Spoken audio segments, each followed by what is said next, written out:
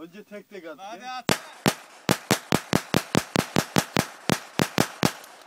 Dikkatli ol Atakan öyle kafana doğru çevirme aşıyı. Problem yok, problem yok.